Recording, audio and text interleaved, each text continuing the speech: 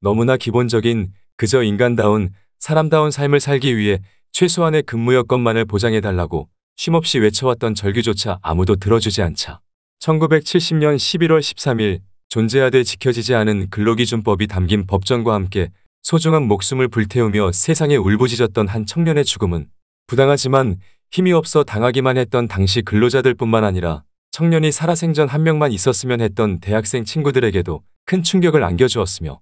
이미 늦었지만 더 늦기 전에 이 청년과 이 청년의 마지막 뜻을 전해들은 어머니를 직접 찾아가 애도하고 위로해 주었던 따뜻하고 뜨거운 학생들이 있었습니다.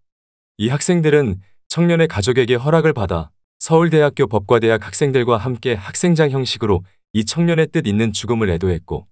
1960년 4.19 혁명과 1965년 한일협정, 1969년 삼성개헌 당시 뜨겁게 들끓었었던 대학가는 다시 한번 들썩이기 시작했습니다. 이러한 대학가에 박정희 정권은 고등학생들뿐만 아니라 대학생들까지 교련 과목을 무려 711시간이나 의무적으로 이수해야 하는 교육정책 등을 강압적으로 추진했고 가뜩이나 삼성개헌과 사상계 필화 사건, 전태일 분신 사건 등으로 박정희 정권의 독재에 가까운 행보에 대해 반감이 컸던 전국 각지 대학교에서는 교련교육 철폐를 기치로 대규모 시위가 일어나기 시작했습니다. 1971년 초부터 학문의 자유마저 침탈하려는 박정희 정권에 맞서 전국 각지 대학교에서 동시다발적으로 시작된 교련반대 시위는 몇 달 동안 그치지 않았고 연일 시위에 참여했던 학생들의 에너지는 1971년 4월 제7대 대선 국면까지 이어져 1971년 4월 8일 학계 언론 법조 종교 문학계 등 각계를 망라한 저명인사들이 민주수호 선언과 함께 결성한 민주수호 국민협의회 응답이라도 하듯 1971년 4월 14일 전국 11개 대학교의 학생대표 200여 명이 참여한 민주수호 전국청년학생연맹까지 결성하면서 학생들에게 참정권을 행사할 것을 독려하고 공명선거 공정선거를 위해 대선 참관까지 참여하는 등 보다 조직화되어 제야 세력과 함께 박정희 정권을 교체하기 위해 김대중을 중심으로 총결집했습니다. 하지만 학생들과 제야 세력까지 결집하여 지지했던 신민당 대선 후보 김대중은 민주공화당 박정희 대통령의 삼선 연임을 막을 수 없었고 제7대 대선과 제8대 총선을 연이어 거치며 위기감이 고조된 박정희 정권은 전보다 조직화되어 교련교육 반대에서부터 선거 참여 선거 참관 운동에 이어 부정선거 반대 규탄 시위까지 자신들에게 끊임없이 대항하는 학생 운동권 세력을 본격적으로 탄압하기 시작했습니다. 제7대 대선 일주일 전인 1971년 4월 20일 점차 커져가는 학생 시위 열기와 김대중의 기세를 꺾기 위해 당시 보안사령관 김재규가 제1교포 2세 서승 서준식 형제를 포함한 일명 제1교포 간첩단 조작 사건을 발표하는 것을 시작으로 검찰까지 나서 시위에 참여한 학생들을 잡아들이는 족족 바로 구속시키는 등 초강경 대응에 나섰고 더 나아가 이러한 탄압에도 시위 기세가 꺾이지 않았던 일부 대학들에는 강제 휴교령을 내리는 등 정권 차원에서 공권력과 행정력을 총동원하여 각종 반정부 시위를 강제 진압해 나갔습니다. 그러나 민주수호 전국청년학생연맹 중심으로 몇몇 대학교에 내려졌던 강제 휴교 조치는 민주주의 질서 파괴이자 불법이라며 당시 문교 장관 홍종철의 퇴임을 요구하는 성명을 발표했고 이에 발맞춰 민주수호 국민협의회는 정권의 눈치를 보느라 탄압받고 있는 학생들을 외면하고 오히려 징계하고 있는 교수들에게까지 항의하는 등 제7대 대선과 제8대 총선을 거치며 학생 운동권 세력들과 연대하기 시작했던 제야 세력들까지 박정희 정권의 강경책에 대해 비판하고 나서면서 박정희 정권과 시위에 참여하는 대학생들 간의 대립은 수개월간 그치지 않았고 되려 시간이 갈수록 점점 깊어졌습니다. 그리고 얼마 지나지 않아 수년간 쌓여왔던 박정희 정권의 실정들이 8.10 성남민권운동, 실미도 사건 등으로 곳곳에서 터져나올 무렵 서울대학교 교수들부터 시작된 대학의 자율성 요구를 골자로 한 자주선언까지 서울 소재 대학교들뿐만 아니라 국립대학교들을 중심으로 전국에 퍼져나가자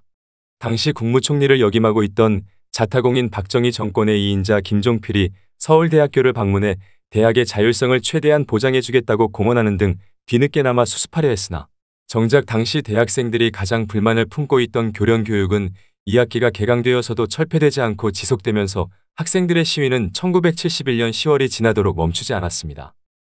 이렇게 시위가 끊이지 않고 있던 1971년 10월 5일 대한민국 수도 서울을 방어해야 할 수도방위사령부 군인 수십 명이 무장한 채 각종 시위에 적극적으로 참여했던 고려대학교에 난입하여 학생들을 무차별 구타하고 심지어 그중 몇 명은 강제로 끌고 가 불법 연금까지 했던 충격적인 사건이 발생했고 이에 진심으로 머리 숙여 사죄해야 할 국방장관 유재흥이나 당시 수도방 이사령관 윤필용은 모르쇠로 일관하며 아나무인식의 오만방자한 태도를 보이자 교수들을 비롯해 고려대학교 총장까지 나서서 정식 항의하기 시작했으며 제야 세력들뿐만 아니라 정치권마저 일련의 사태를 민주질서 파괴 행위로 규정하고 박정희 정권을 강력하게 비판했습니다. 국가와 국민들을 지켜야 할 군인들이 학문의 전당인 대학에 무단으로 침입하여 학생들을 구타하고 연행해가는 초유의 사건을 일으키고도 시위에 참여한 학생들은 징집하여 군대에 보내버리겠다는 등 뻔뻔하고 후한무치한 태도로 일관하는 당국에 대해 민주수호 청년협의회뿐만 아니라 서울대 연세대 고려대 성균관대 경북대 등 전국 곳곳 대학생들은 분노를 머금고 국회 앞에서 연좌 시위를 벌이고 등교를 거부하는 등 1971년 초부터 시작되었던 교련 철폐 반대 시위에 이어 보다 강력하게 박정희 정권을 규탄하기 시작했습니다. 이에 박정희 대통령은 정식 사과나 협의는커녕 학원 질서 확립이라는 이유로 1971년 10월 15일 대한민국 수도 서울의 위수령을 발동했습니다. 위수령이 내려지자마자 사상과 학문의 자유가 보장되어야 할 서울 소재 10여 개 대학교에는 총칼을 앞세운 무장군인들이 진주했으며 1971년 11월 9일 위수령을 해제할 때까지 3주 동안 23개 대학에서 수백 명의 학생들을 제적하고 수십 개의 학생회와 동아리들을 해체했으며 수천여 명의 시위 참여 학생들을 강제 연행하고 불법 감금하거나 강제 입영까지 시켜버렸습니다. 1970년 10월 15일부터 11월 9일까지 위수령을 통해 총칼을 앞세운 군합발로 서울 소재 대학교들을 그야말로 쑥대밭으로 만들어버린 박정희 정권은 여기서 그치지 않고 위수령 해제 나흘 만인 1971년 11월 13일 중앙정보부를 통해 일명 서울대생 내라는 모 사건을 발표하며 오랜 시간 동안 박정희 정권에 대해 항의하고 비판하는 각종 시위의 시작이자 중심에 있었던 서울대 출신 학생운동권 핵심 인사들을 반역자로 처단하려 했습니다.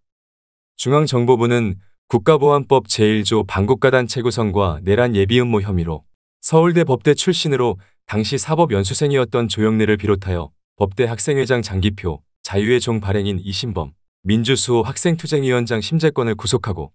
신변을 확보하지 못한 당시 서울상대 3학년 학생 김근태에 대해 전국 수배령을 내렸습니다.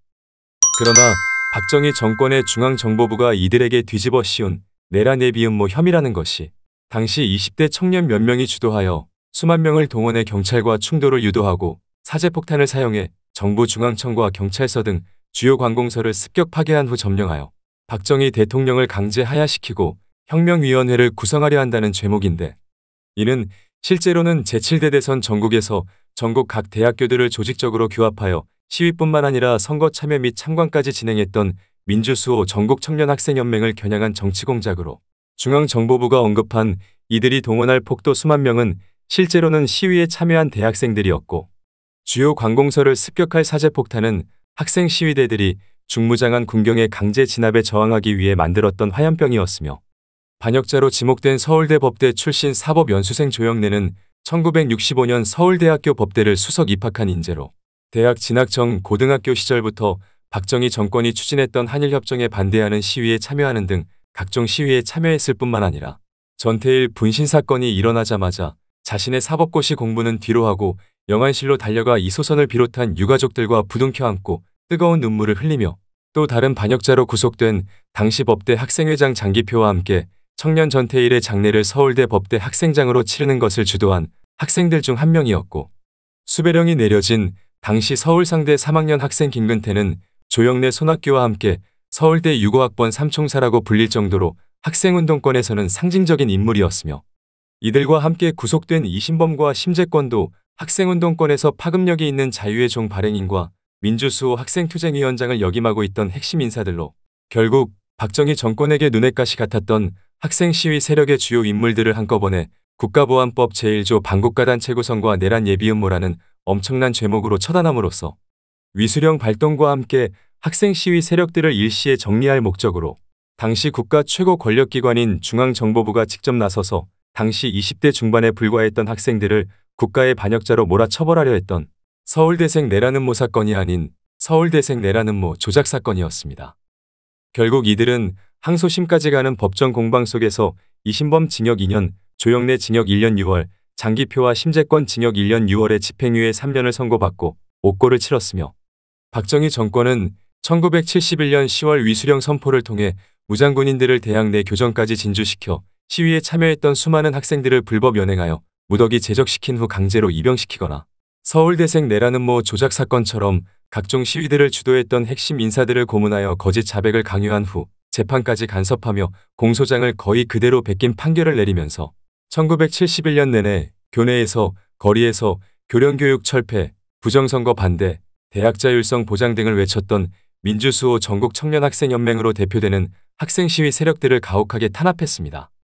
그리고 삼성개헌 이후 제7대 대선과 제8대 총선을 통해 알게 되었던 흉흉해진 민심을 상대로도 학생들을 짓밟았던 방식들을 그대로 적용하여 1971년 12월 6일 박정희 대통령의 국가비상사태 선언을 통해 국가안보를 앞세워 국가의 주인 국민들의 자유마저 제한하기 시작했습니다. 끝까지 시청해 주셔서 감사합니다. 앞으로도 저희 채널에 대한 많은 관심과 격려 부탁드립니다.